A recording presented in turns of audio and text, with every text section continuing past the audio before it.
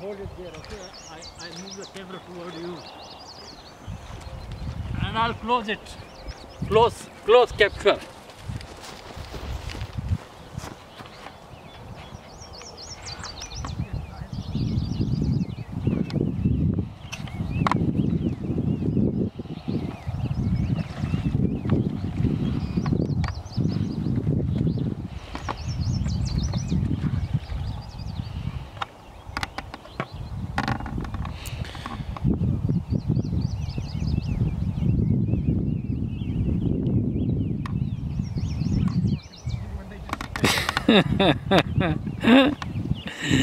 My goodness.